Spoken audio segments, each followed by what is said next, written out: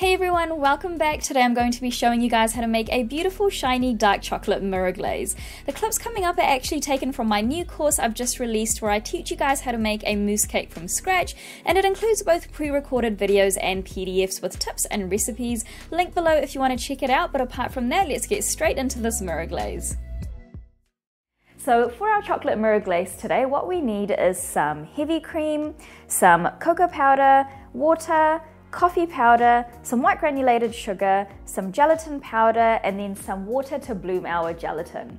Now the first thing that I'm going to do is I'm going to start off by blooming my gelatin and then putting that aside. Now I'm just going to bloom it in the same way that I did when I was making my chocolate mousse cake. So I've just got some water here and again the full quantities will be in the PDF which is attached to this video.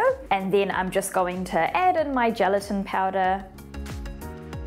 Just give that a little mix. And now I'm just going to pop this aside to allow this to bloom up while we go ahead and work on the rest of our glaze. So the next thing that I'm going to do is I'm going to combine my cocoa powder, water, and my coffee powder into a saucepan. Now the reason why I'm putting it directly into my saucepan is because we are going to heat this up very shortly. So we aren't going to turn on the heat just yet. So first what you want to do is just combine those three ingredients into your saucepan and then just give it a little mix until it becomes like a thick paste. Now you want to use a spatula for this as opposed to a whisk because a whisk is going to incorporate air bubbles into our mixture and we don't want any air bubbles in our glaze so that it's really nice and smooth. So instead I like to just use a spatula while making my mirror glaze. It's also best to use a deep saucepan for this because as it rises when we heat it up later, then you know, this prevents it from kind of overflowing. But I'm using a small saucepan for the purposes of this video so that you guys can see the kind of mixture inside a bit better. And just remember that we don't have the heat on just yet. Now the coffee powder again is optional, but I always love to add a little touch of coffee to anything chocolatey that I make because it really helps to amplify that chocolate flavor. And now I'm just going to give this a stir until it becomes a thick paste.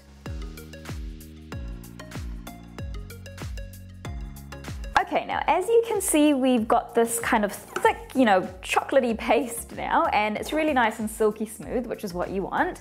And now the next thing that I'm going to do is I'm going to start slowly pouring in my cream, and then I'm going to add in my sugar after that, and just mix that all in. So I'm just going to add in a little bit of my cream first, just to help me kind of loosen up my chocolatey mixture there, and then I'll add the rest in.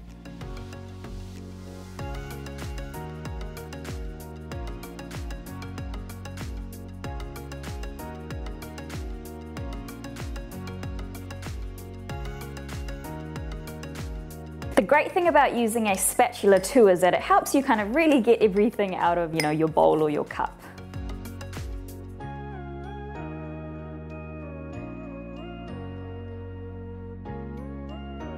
Now once you've mixed in all of that cream, then you should be left with, you know, kind of like a thick liquidy mixture. And now I'm going to add in my sugar.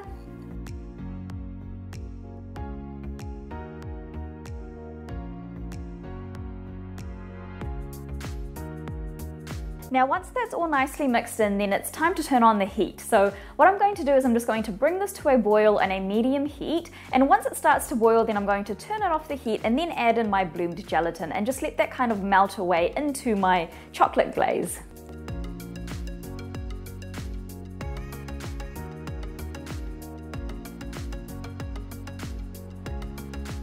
So my mixture started to boil now. So as you can see, it's like bubbling at the top there. So now I'm going to turn off the heat and add in my bloomed gelatin. Now when it comes to adding in the gelatin, I don't need to pop it into the microwave to make it liquid. I'm just going to put the whole lump straight in like that because my mixture is nice and warm. So that's what's going to kind of help melt that gelatin into my entire mixture. Now one thing I forgot to mention was as you're making your initial mixture and bringing it to a boil, you want to make sure that you keep slowly stirring it so that it doesn't burn on the bottom. So now I've got my little clump of gelatin and I'm just going to pop that right in. Now I'm just going to stir that just very gently for maybe about a minute until the gelatin is completely dissolved. Now once the gelatin is completely melted into the mixture, the next step is to put it through a sieve. So I've got a large sifter here and that's going to kind of make it really nice and silky smooth and remove any, you know, kind of little lumps or anything like that that may have, you know, remained from the initial cocoa powder mixture that we made. Now I'm pouring mine straight into a jug which has a little spout on it because this will make it a lot easier when we come to pouring it over our cake. Now when you're pouring the mixture through your sieve, you want to make sure that you're pouring it as close as possible. So don't kind of, you know, pour it too high. Otherwise it's going to incorporate air bubbles into our mixture, which we don't want.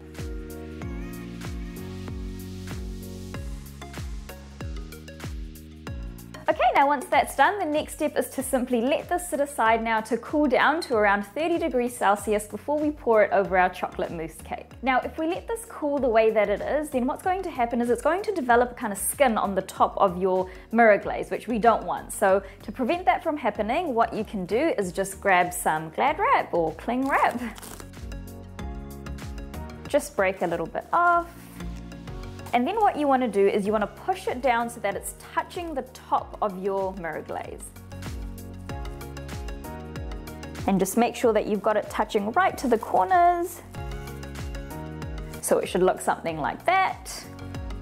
And that is it. That is going to prevent a skin from developing on the top of our mirror glaze. And now we're simply going to let this set aside for around two to three hours. It depends on the climate that you're staying in, but generally anywhere between two to three hours should be fine. I say just check it at the two hour mark. And you want to use a kitchen thermometer to check whether your glaze is at the right temperature. Now I've already made one earlier, so I'm going to go ahead and get our chocolate mousse cake out of the freezer and show you how I take it out of the mold and pour my chocolate glaze over the top. Now once your glaze is ready to go, I've got mine here. I made another batch earlier and I've just got my thermometer on here which is helping me track the temperature to make sure that my glaze isn't getting too cold or too hot. And this is what the consistency should look like. So, you know, it has thickened up quite a bit, but it's still quite liquidy in consistency.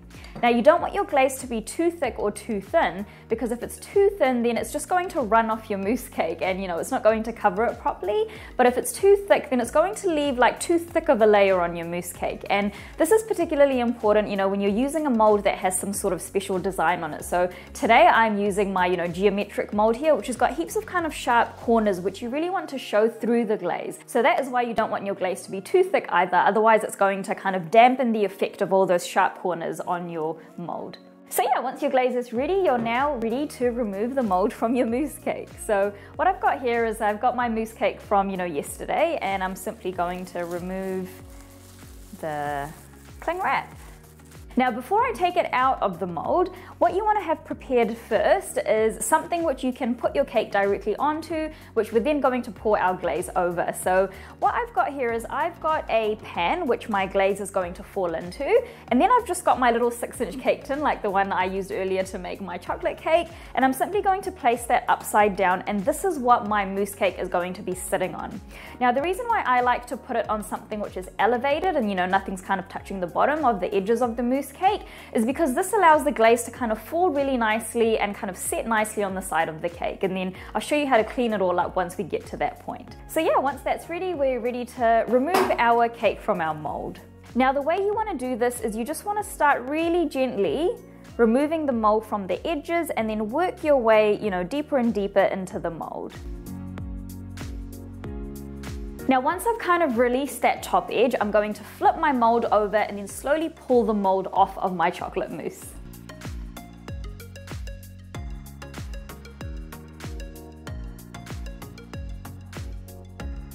Okay, so I've got my mold off and that really beautiful design is coming through, which I'm super happy with. And now the next thing that I'm going to do is I'm going to place my cake on top of my six inch cake pan and then I'm going to go ahead and start gently pouring the glaze over my cake until it's completely covered.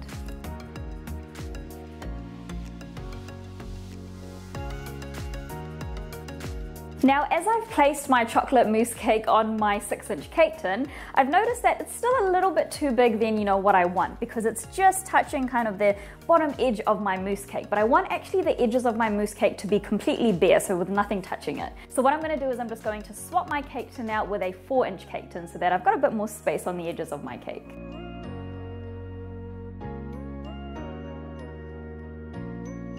Okay, now that's looking a lot better now. And just remember that this doesn't have to be a cake tin. It can be like a big cup or maybe like a saucer or something like that. Anything that's going to, you know, have a nice flat bottom that, you know, your mousse cake can sit on and, you know, it's got that kind of space on the edges.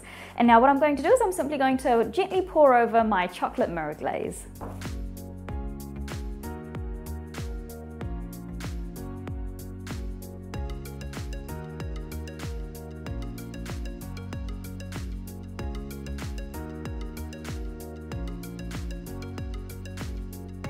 Okay, so I've poured my chocolate glaze over my cake. It looks absolutely incredible. I'm really happy with it. It's super shiny and you know, all those kind of subtle patterns in the mold has come through. So that's what I mean by, you know, you want your glaze to be, you know, thin enough that, you know, those patterns are going to come through, um, but you know, not too thin that it's not kind of, you know, covering your cake well. So yeah, so what I'm gonna do now is I'm gonna show you guys how to clean up this cake and then transfer it onto a cake board or a cake stand, whatever your, you know, your cake is going to be sitting on. Now to clean up the bottom of this cake, I'm just going going to use my offset spatula to kind of drag any of that excess glaze that's kind of hanging on the bottom of the cake into the middle of the cake. And you just want to really gently do this.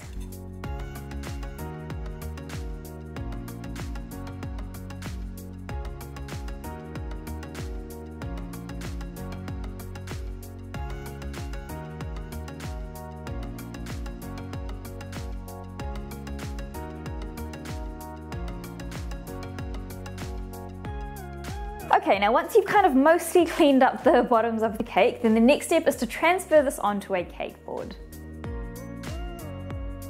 So what I've got here is I've got a square 10 inch cake board, which my cake is going to be sitting on. And you know, if you're not using a cake board, then you can totally just transfer your cake straight onto a cake stand. Now to transfer my cake from, you know, my cake tin to my cake board is I'm just going to use two offset spatulas. You can even use, you know, like big knives or you know anything that's kind of nice and flat and I'm just going to simply place it on the bottom of the edge of you know either side of my mousse cake and I'm simply going to lift it up and gently place it into the middle of my cake board. Now you do want to make sure that you know you're not letting this sit for too long, otherwise your chocolate mousse is going to get soft and it's not going to be easy for you to kind of lift it up. So if you do feel like, you know, once you're lifting it, if your chocolate mousse feels a little bit soft, then just pop this into the fridge for, you know, maybe about half an hour or so and then you can lift it up and put it on your cake board.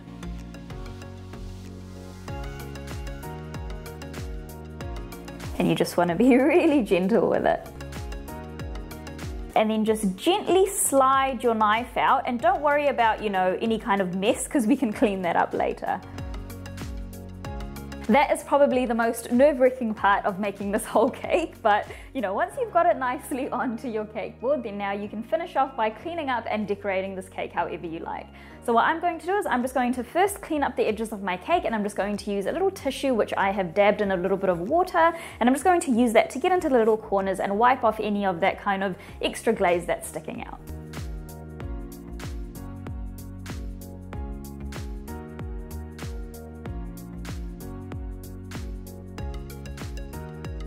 Now I'm not too fussed about getting, you know, super clean edges because I am going to be decorating this by putting some grated chocolate around the edge of my cake, which I'm going to be showing you guys next.